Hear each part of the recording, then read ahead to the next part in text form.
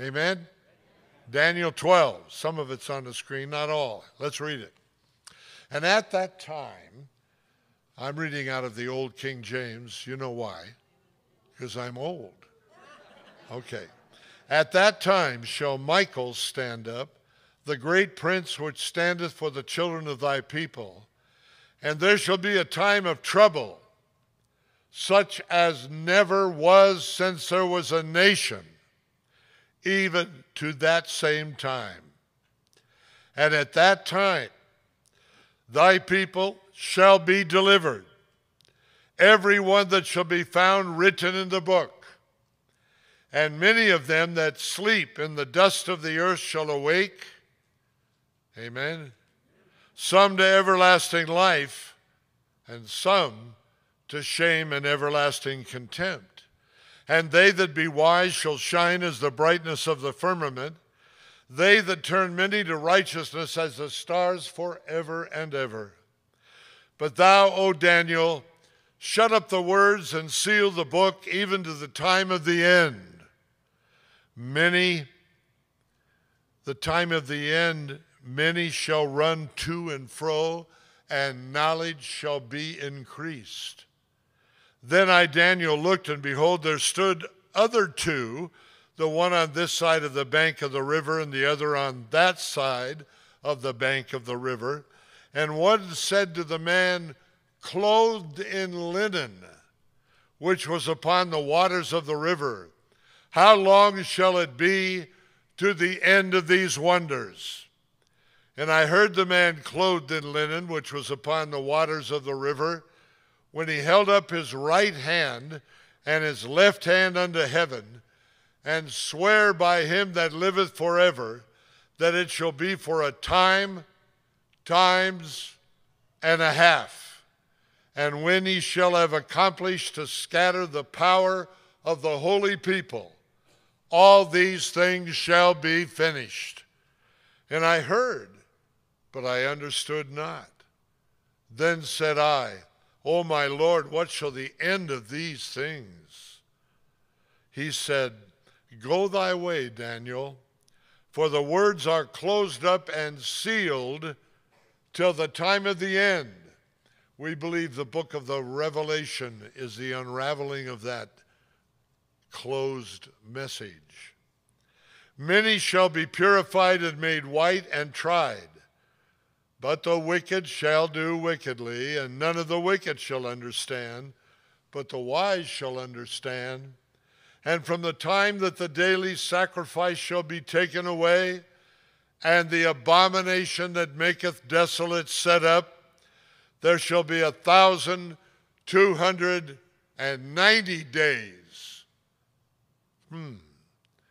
Blessed is he that waiteth and cometh to the thousand three hundred and five and thirty days.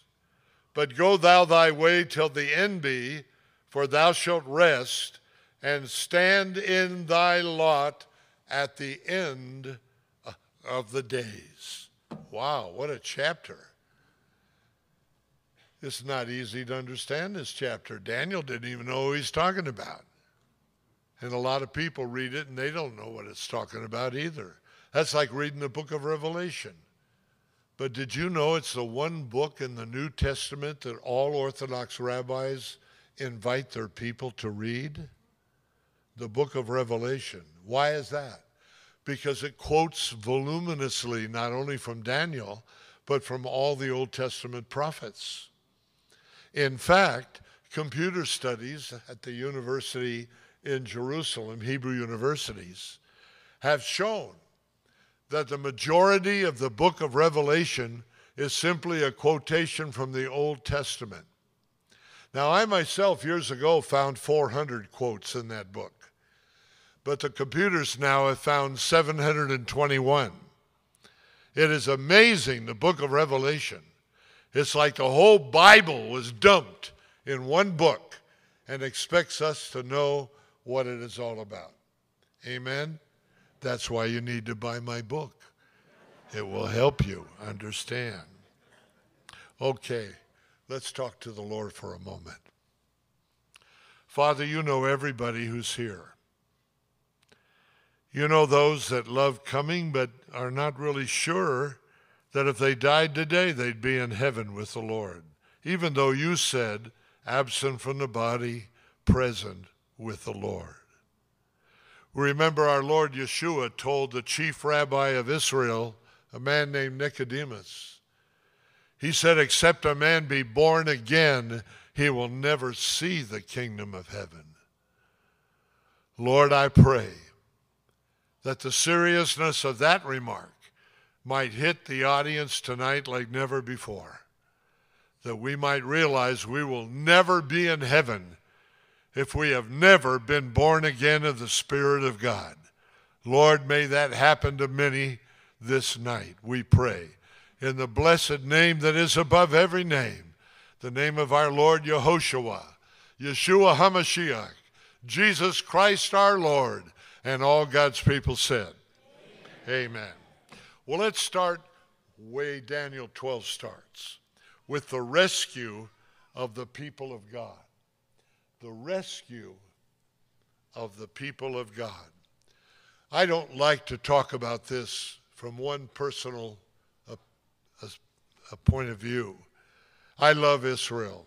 All of you who know me know that. Uh, I was there listening to a Philco radio in our home to hear my unbelieving father tell us all to be quiet that the prime minister of Israel, the first one, David Ben Gurion was going to tell us all what the name of that land would be. I heard it with my own ears. It was on the voice of Israel in Hebrew and on the voice of America in English. And all I can tell you is my dad, once he heard it was Eretz Israel, which is what Ezekiel predicts will be the name of it. Eretz means land in Hebrew. That's the official name. Don't worry that they only call it Israel and they don't say the whole name because they're trying to take the land away from them. No, that land was given to them by God. You get this book, Israel celebrating 70 years, and you will never again let anybody tell you that that land doesn't belong to Israel. It belongs to Israel from the Euphrates River all the way to the Nile. Saudi Arabia, you belong to Israel. Yemen, Bahrain, Lebanon, Jordan, Syria, you all belong to Israel. And one day the Messiah himself will give it to you. He's already promised it. Now, as I looked at this uh, final message, I realized there's trouble coming. And that's why I don't want to tell my Jewish friends, but I do. I speak in a number of synagogues also not messianic, although I speak in those also, but in regular Jewish synagogues. I have spoken in the largest one in North America. They have 12,000 people. They opened that big audience of 12,000 with me to ask me questions. And I turned to the rabbi, the head of it. His name was Feinstein. And I asked him if he had a relative in the Senate and he got really mad because he doesn't he doesn't support her. But anyway. I said, What am I going to do if they bring up about the Messiah? He says, You're going to answer all questions. That's what you promised. Okay. He said, Maybe they won't ask. And he started laughing. I said, I think your laughter means that somebody's going to laugh. The first man stood up and he said, What about Yeshua? Being the Messiah of Israel.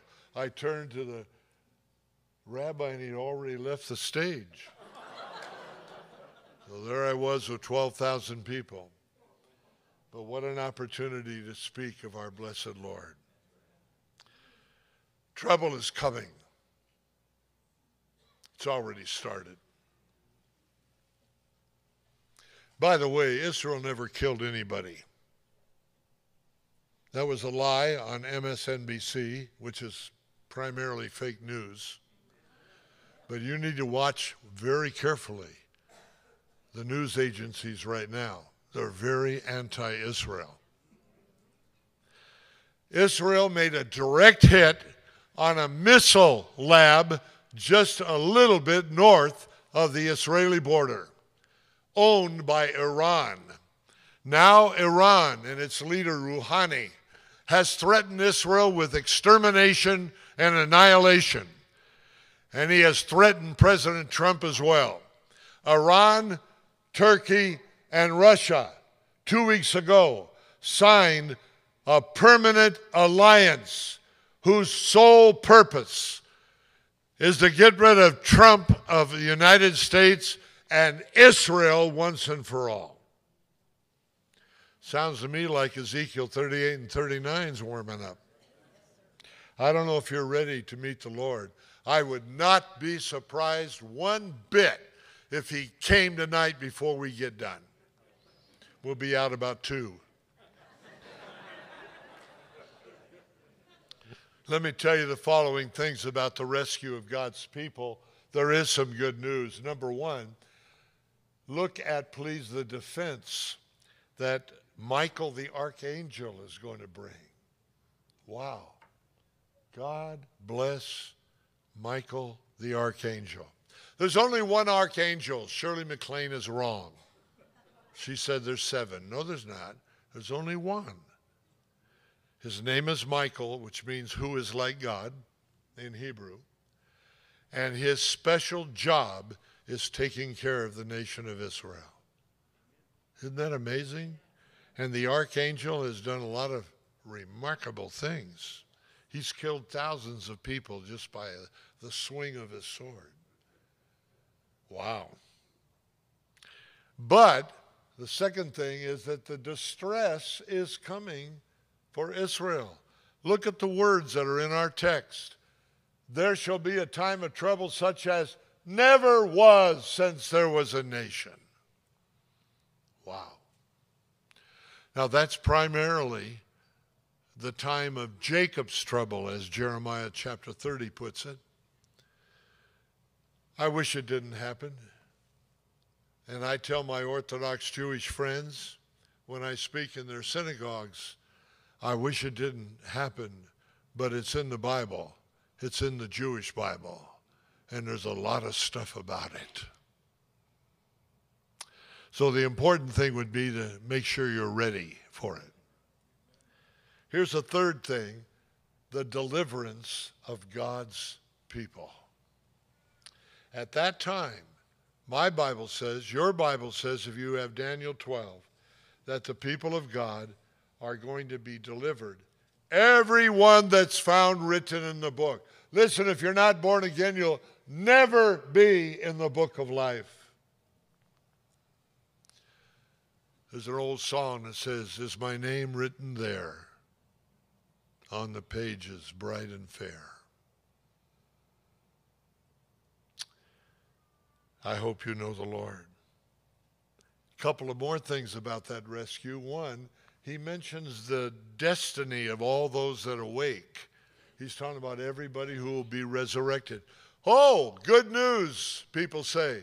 There's going to be everybody resurrected. Um, no, not quite. Some to everlasting life to be with our Lord forever in the kingdom of the Messiah but some, unfortunately, to shame and everlasting contempt, who continue in their wickedness, their ignoring of the Lord, acting like the preachers are crazy.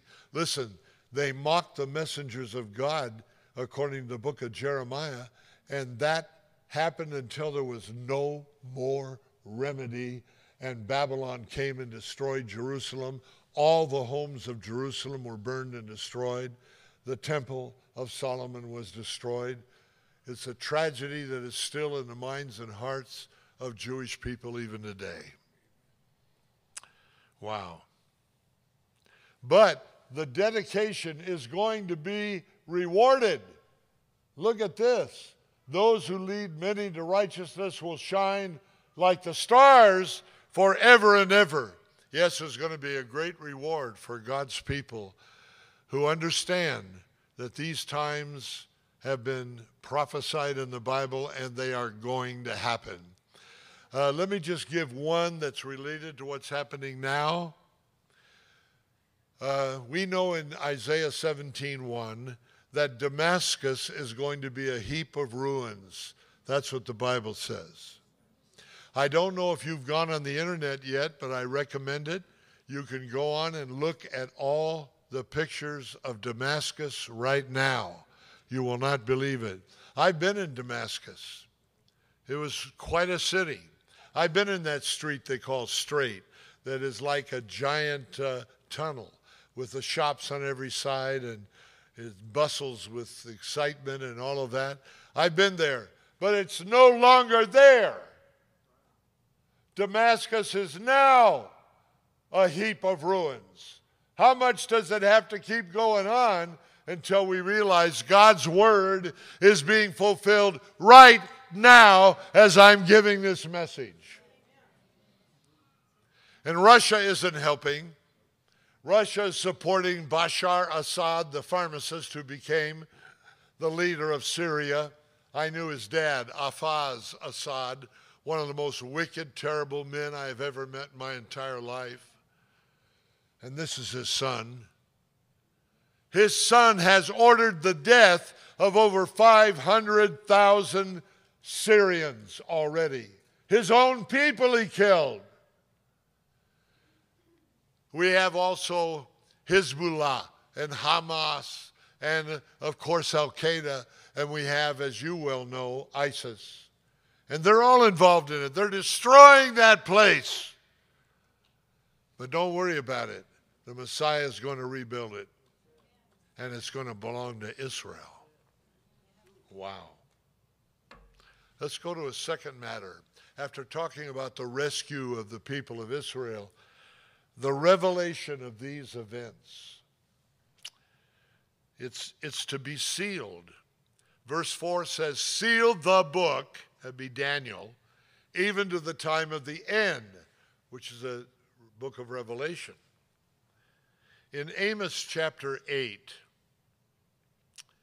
we have a little statement about the events that will occur. The events. They're going to run to and fro, and knowledge shall be increased.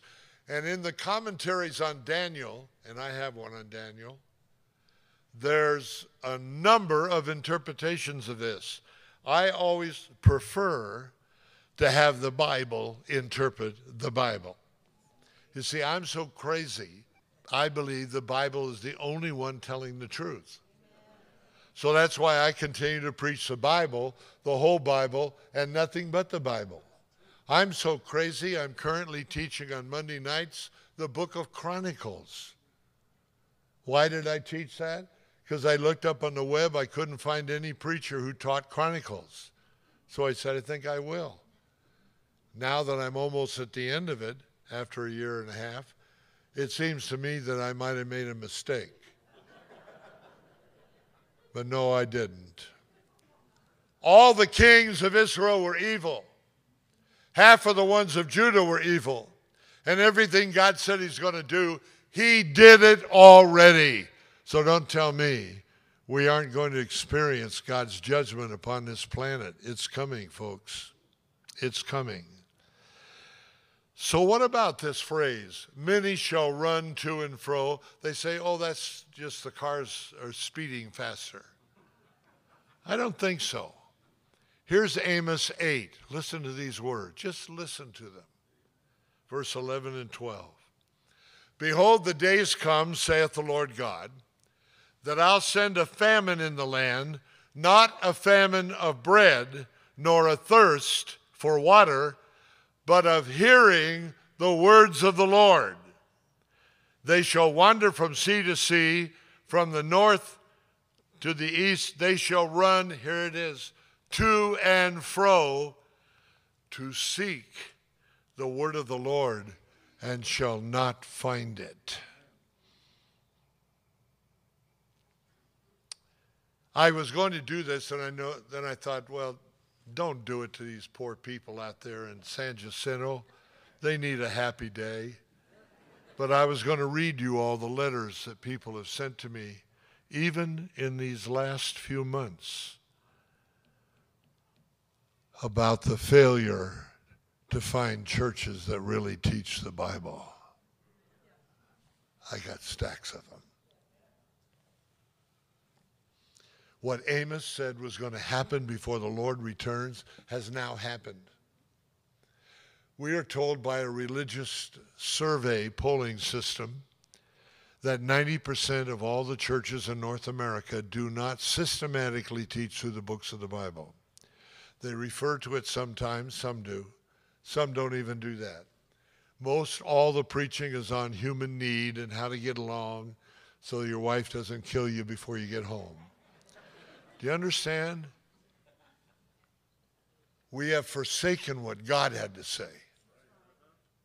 That's a problem, a very serious problem. So when he said many will go to and fro, what's he talking about? They won't be able to find the information that Daniel was being given right now and that will be in the time of the end, namely the book of Revelation. Wow. Here's a second little issue you probably were thinking about when we read it the explanation of the man clothed in linen. I love that. Oh, the angels are involved, of course, here, but that man clothed in linen, woo-wee. In verse 6, they asked about the timing of these events. What is the timing of these events? And that's an interesting question. Verse 6 How long shall it be to the end of these wonders? Do you know in the book of Revelation, chapter 6, it talks about martyrs that are under the altar who have already died and are now with the Lord. Well, interestingly, they aren't in soul sleep or something else that people believe. No, they're talking to one another. By the way they're dressed, they have a robe. I don't believe you put a robe on gas. I think you put it on a body. I believe we're going to have a body. I've asked for a shorter one than I have now. I'm tired of hitting my head on so many walls. But the fact is, they ask the same question How long, O Lord, till you avenge our blood on the earth? In other words, the issue of prophecy, even after they died, is still on their hearts. When is this all going to happen? They're asking the question more than we do here. Wow. I notice in verse 7 his acknowledgement of the Father, this one who's clothed in linen. What a beautiful thing. The explanation of that man and his acknowledgement of the Father. It says he, he swore by him that liveth forever and ever. He gave him a specific answer. What was it? It's right there in verse 7 he said, a time, times, plural, and a half. Now, if you're looking at this from a Jewish Hebrew idiom point of view, it's three and a half years, or 1,260 days, or 42 months. If you go to the book of Revelation, chapter 11, you'll see that it divides the tribulation period, this time of Jacob's trouble that is worse than they've ever experienced in their history. It's still coming. And it's divided into two parts. The second part is called the great trouble, the great tribulation, because of all that's going to take place. By the middle of that period of time of seven years, by the middle, over one half of the world's population will be killed by the disasters that God is going to bring. Unbelievable. not only the timing of these events, but the tribulation that is coming. He comments about it. It says, When he shall accomplish to scatter the power of the holy people, all these things shall be finished. Now, listen to me. First, the rebirth of the nation of Israel is prophesied in Isaiah chapter 66, and it would happen in one day. And that's exactly what happened on May 14, 1948. And it's been 70 years. And Israel's being blessed. Boy, are they being blessed. The United Nations says the number one nation economically in the world is Israel. Did you know that out of all those nations in the United Nations that keep criticizing Israel, 122 of them are now doing business with Israel? Did you also know that the currency that's number one in the world right now is the Israeli shekel? Better than the dollar, the Japanese yen, and so forth. Does the Bible teach that God is going to bless Israel near the end? Yes, it does. As a matter of fact, their desire for wealth and prosperity, which is enormous in that land, their desire is going to shoot them in the foot. And God will show them that the only real answer is the coming of the Messiah. So you see, what he said was when he scatters the power of the people, that's going to happen in the tribulation. I don't want it to happen, but that's what's going to happen. Did you know that Israel is going to be t- attacked by all nations on the earth. Every nation will be involved. That includes the United States.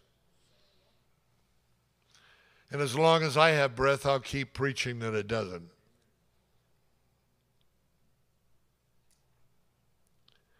I'm sorry to report to you there have been 600 resolutions against Israel in the, in the UN. I'm sorry to report to you that the Islamic world has said the only way we can survive is by the annihilation of the nation of Israel. They hate the Jews. Well, our Lord Yeshua said they'd be hated of all nations for my name's sake. Whoa. And the trouble Daniel had, verse 8, he, he heard, but he didn't understand. And he was told in verse 9 that the truth that these words contain he said the words are closed up and sealed until the time of the end. So it won't be till the book of Revelation is written that he will really understand. Finally, I want to deal in the last four verses with the most exciting things imaginable the results that are going to happen quickly. Are you ready for them? Number one, the purifying of the righteous. Whoa. Are there going to be Jews saved before the tribulation? Yes. You say, how do you know? Because I'm one. Amen? I'm going to go in the rapture. It's whether Jew or Gentile, all are one in Christ. Amen? and we're going to go. Well, that leaves some Jews. Are there Jews that are interested in prophecy and end time? Oh, yes, there are. They speak about it all the time now in the synagogues of the world. Well, guess what? God's going to send two guys that have shown up all the time. One is named Moshe or Moses, and the other one is named Eliyahu, Elijah. Moses and Elijah keep showing up all the time. They were on the Mount of Transfiguration when Peter, James, and John had the opportunity to see the Lord in all of his glory radiating on that mountain. And here's Moses and Elijah and Peter, bless his heart.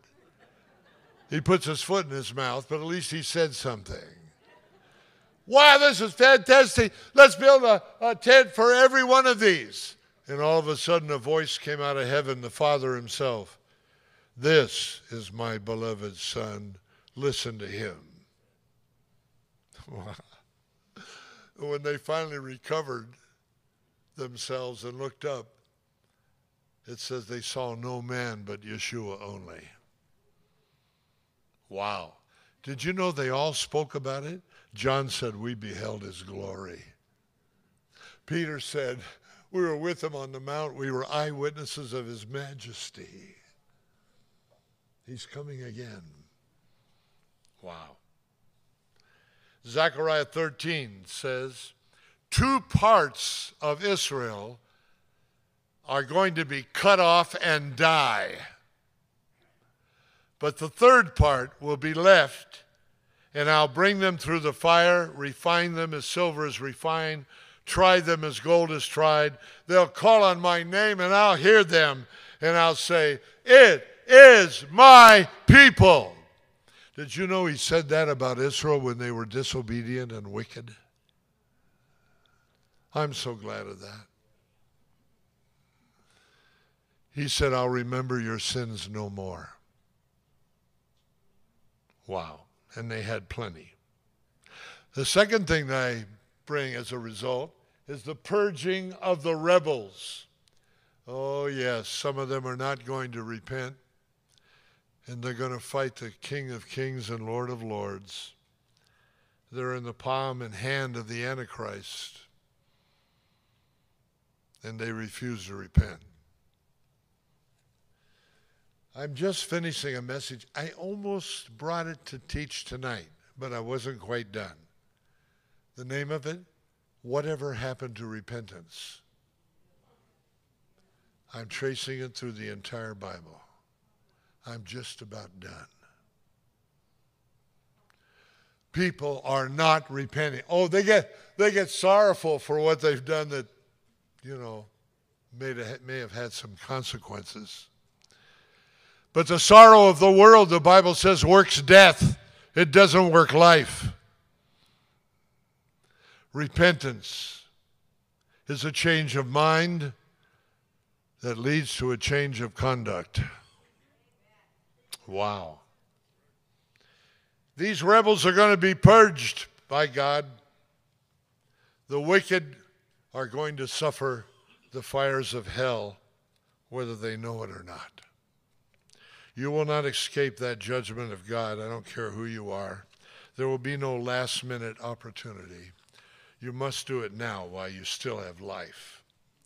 The third thing I mentioned about the results is a blessing. The persecution will be limited. Amen? Thank the Lord for it. It'll be 1,290 days. And in that, we have a couple of things mentioned.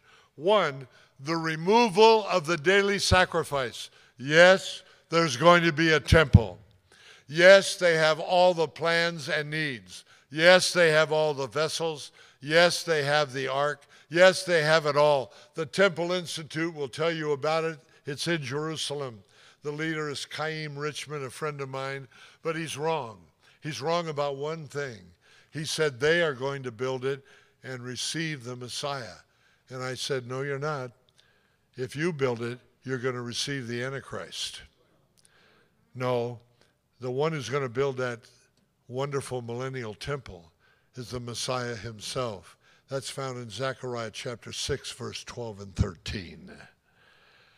Not only the removal of the sacrifice will happen by this world leader called the Antichrist, he's actually a counterfeit Christ. The world will believe he's great. But we have mentioned here the reign of the Antichrist. If you look very carefully in verse 11, he spoke of the abomination, the abomination of desolation. And in Matthew 24, it refers back to Daniel chapter 12. And that is going to be a terrible day.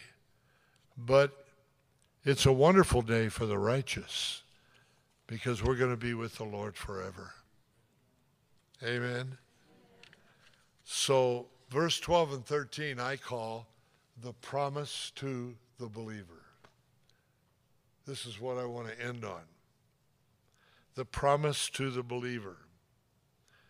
First of all, we have a needed response here. He says, verse 12 Blessed is he that waiteth and cometh to the 1,305 and 30 days. Wait a minute. There's an extra 75 days here. How do we explain it? Well, maybe another speaker can give it to you. I wouldn't do that to you. Why do we have an extra 75 days that we're supposed to wait with great anticipation? Why?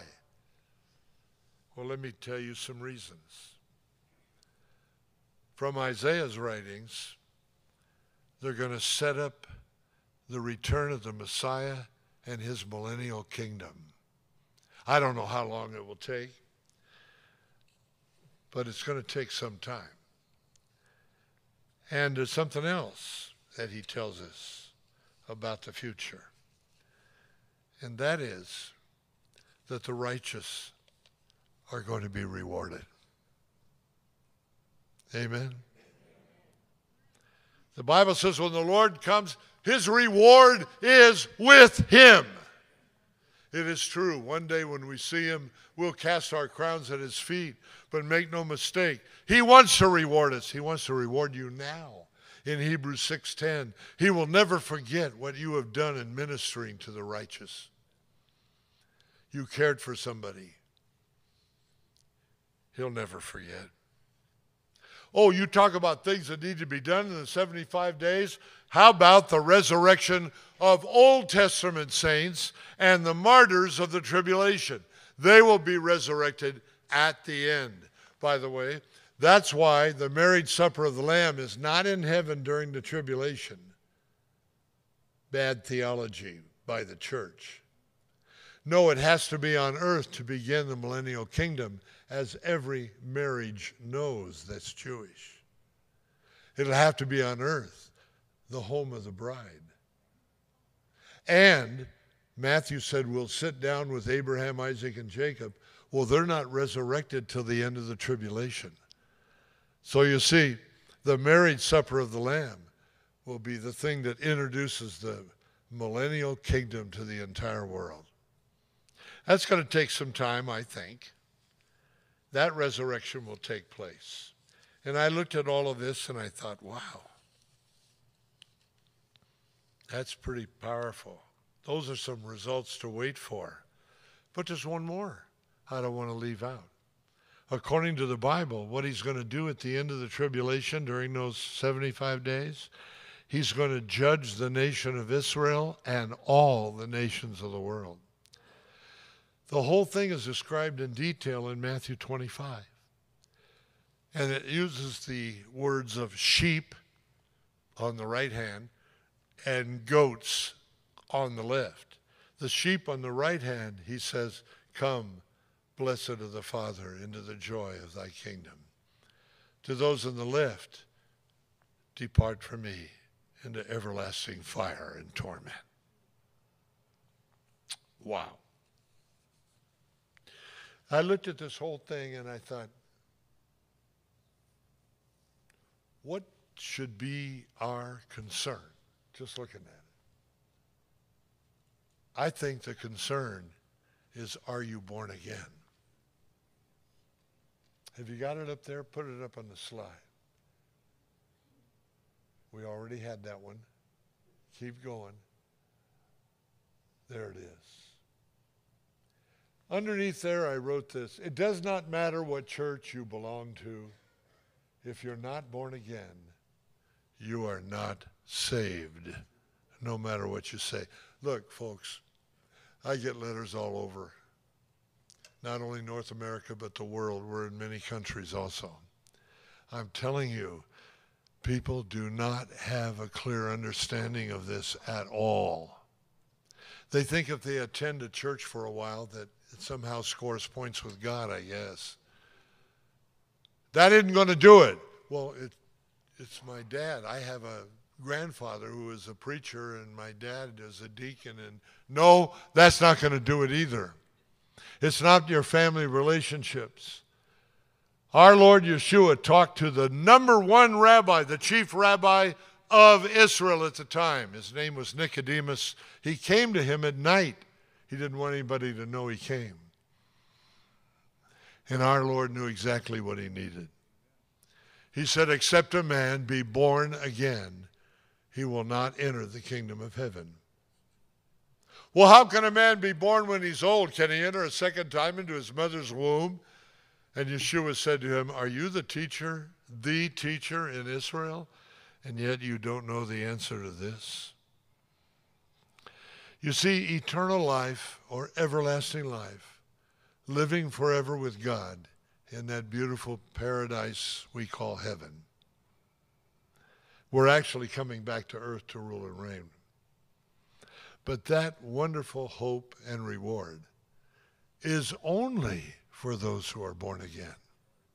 What will happen if you're not born again? You will be lost forever in a place that calls hell.